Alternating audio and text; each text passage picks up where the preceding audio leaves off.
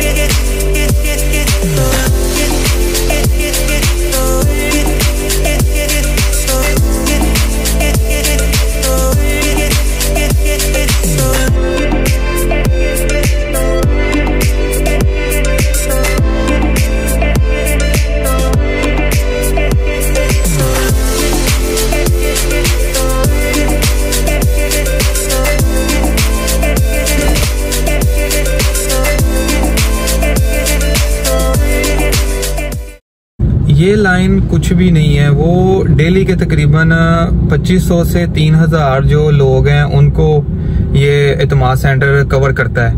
2500 से 3000 तक। वो एक लाइन में आप एक दफ़ा वो कहेंगे 500 बंदा।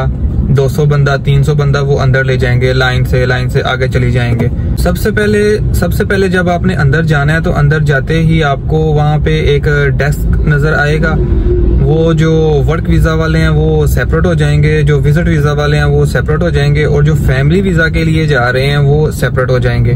वहाँ से आपको टोकन मिलेगा। टोकन के लिए आपको एक अपना असल शनाती कार्ड और पासपोर्ट उनको देना होगा। वो आपको टोकन इशू कर देंगे। टोकन के बाद फिर आप दूसरे काउंटर पे जाएँगे।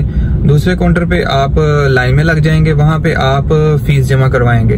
फ़ीस जमा करवाने के बाद वो आपको इस तरह की स्लिप दे देंगे। इस तरह की स्लिप हासिल करने के बाद फिर उसके बाद आप नेक्स्ट काउंटर की तरफ़ जाएँगे। वहाँ पे आपके फिंगरप्रिंट होंगे। वहाँ पे आपको इंतज़ार करना पड़ेगा। जैसे जैसे टोकन आता जाएगा, आपका जो टोकन होगा, उस हिसाब से वो आपको बुलाते जाएँगे बुलाते जाएँगे। और आपने उस हिसाब से ही जाना है। उससे पहले भी नहीं जा सकते, उसके बाद भी नहीं जा सकते।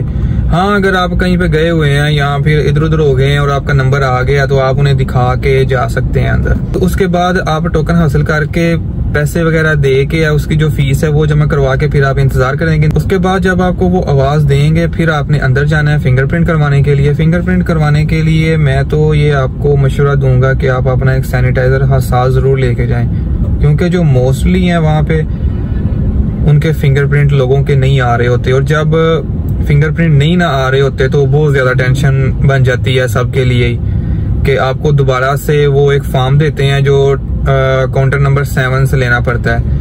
फॉर्म लेते हैं फॉर्म लेने के बाद को हॉस्पिटल जाना पड़ता है, वहाँ पे आपको अपने सारे फिंगरप्रिंट लगाने पड़ते हैं एक फॉर्म के ऊपर। उसके बाद फॉर्म के बाद आपको फिर दोबारा से आना पड़ता है टोकन लेना पड़ता है, सारा कुछ दोबारा से करना पड़ता है फॉर्म जमा करवाना पड़ता है, ये बड़ा लंबा प्रोसेस हो जाता है। तो मैं तो यही मशवरा दूँगा कि आप सैनिटाइजर साथ रखें अपना और हाथ अपने वो सैनिटाइज करके तो फिर उसके ऊपर लगाएँ, ताकि आपके लिए किसी किस्म की कोई मुश्किल ना बने। अभी जब आप वेटिंग रूम में इंतज़ार करेंगे तो उसके बाद भी बाहर ऐसी लाइनें लगी होंगी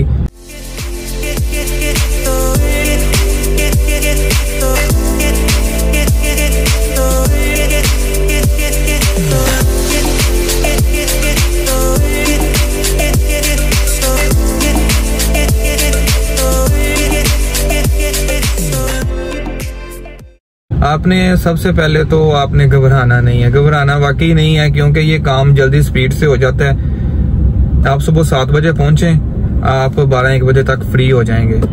जब आप लेट पहुँचते हैं ना, तब आप लेट ही फ्री होंगे। अल्लाह से दुआ है कि अल्लाह सबके लिए आसानियाँ पैदा करें।